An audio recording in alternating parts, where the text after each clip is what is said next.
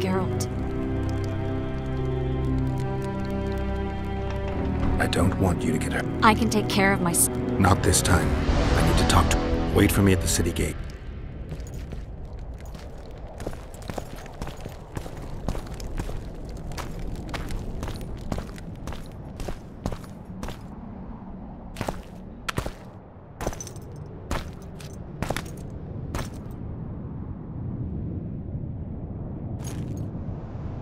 Took you a while?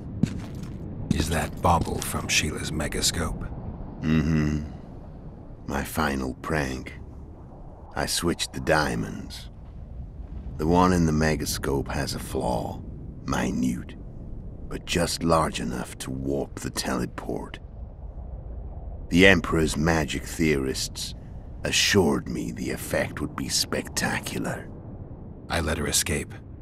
You're heartless. You've no idea what the Royal Witch Hunters have in store for her.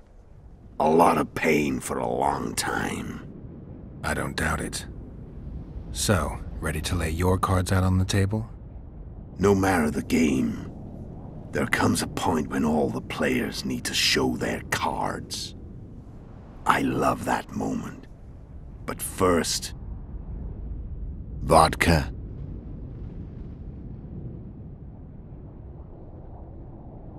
I suppose my throat's a little dry. In that case, let's drink to old friendships.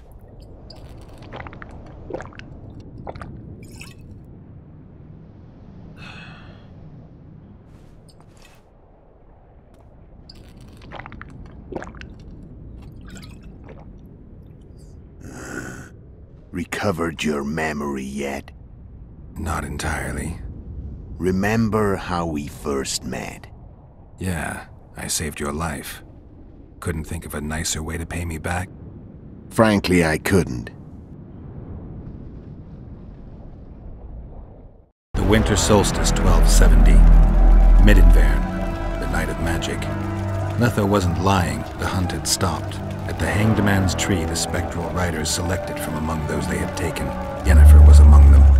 A wraith cannot be killed, only driven away. Every riders fell beneath the blows of our witcher's blades. Crimson blood flowed from under their dead men's armor. We could not kill them all. They were simply too many. A stalemate. He was different from all other elves. There was no shame in his gaze. He had never suffered persecution. He had endured no massacres. Humans had not taken his land. This elf was not of this world. He was an invader. We struck a deal. My soul for that of Yennefer. He agreed without hesitation.